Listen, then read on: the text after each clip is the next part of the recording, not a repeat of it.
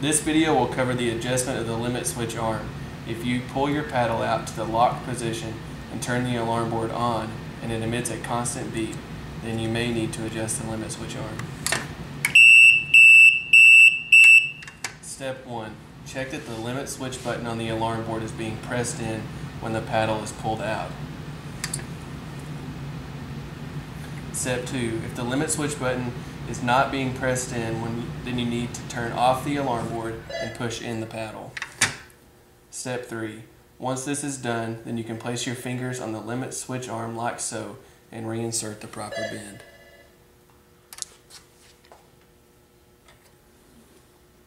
Step 4.